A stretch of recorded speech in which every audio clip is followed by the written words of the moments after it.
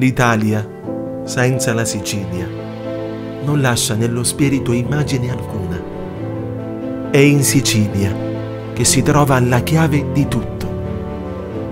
La purezza dei contorni, la morbidezza di ogni cosa, la cedevole scambievolezza delle tinte, l'unità armonica del cielo col mare e del mare con la terra.